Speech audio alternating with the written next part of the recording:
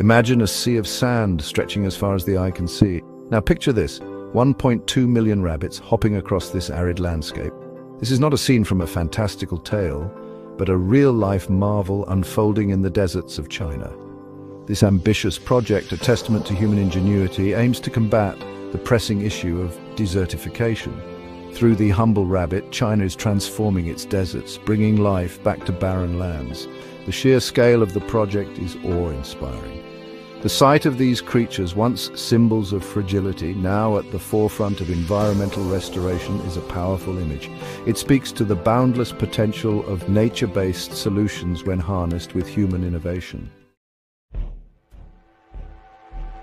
The Gobi Desert, a vast expanse of arid land, has long been a symbol of nature's unforgiving power.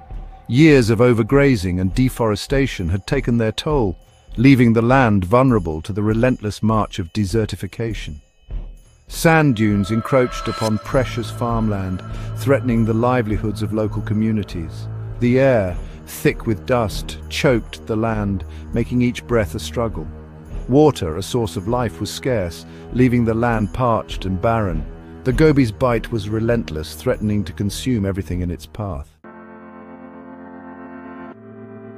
Enter the Rex rabbit, a breed known for its exceptional resilience and adaptability to harsh environments. These furry creatures, unassuming yet powerful, hold the key to combating desertification. Their secret lies in their unique digestive system and burrowing habits. As they graze on the sparse vegetation, Rex rabbits naturally fertilize the soil with their droppings. This enriches the soil, making it more conducive for plant growth. Their burrows, intricate networks beneath the surface, improve soil aeration and water infiltration, breathing life back into the compacted earth. These rabbits are more than just animals. They are ecological engineers.